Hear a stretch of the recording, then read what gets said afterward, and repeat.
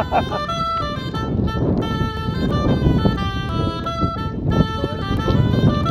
heldur.